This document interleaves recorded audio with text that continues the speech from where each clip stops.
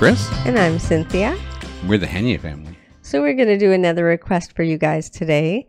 This time I chose Deacon Blue, Real Gone Kid. It was suggested by eight people. Malcolm Lawrence, Stinking Polecat, once was our Strathfield, Robert Bagley, David Death, 140 Cabins, YLT123, and Darren Westbury. Wow. Yeah. They all want to hear Real Gone Kid. Yep.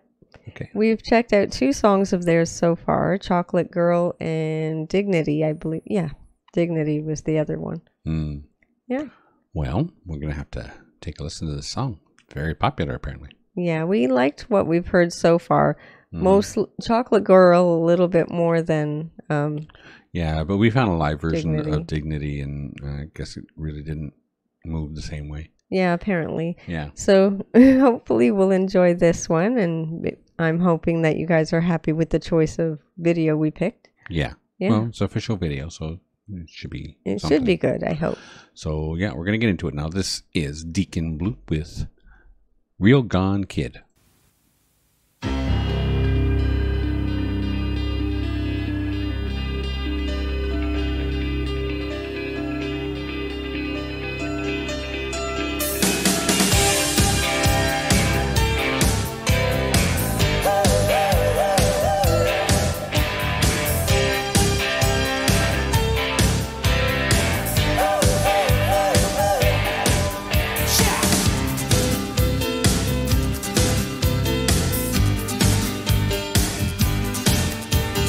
Tear out the pages that I've got in these books to find just some words to get some reward. And I'd show you all the photographs that I ever got took.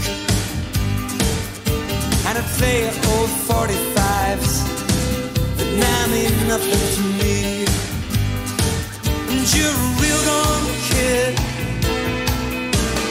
Maybe not, baby. Maybe not, baby. Maybe not, baby. Maybe not, baby. I'll do what I should have did.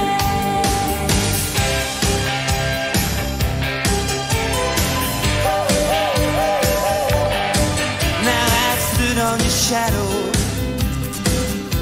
and I've watched it grow. And shaking and it's driven me. And let me know, let me know, let me know, let me know about all the old 45s and the paperback rooms. And it's scattered all the photographs of summers and suns. And you're a real old kid. Maybe not, baby.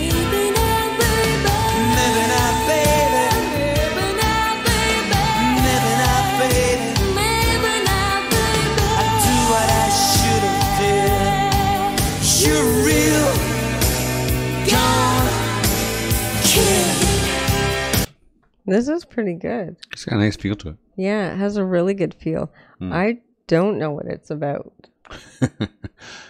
I was just getting into it. Yeah. Yeah. The music is really good and the vocals sound really nice. Yeah.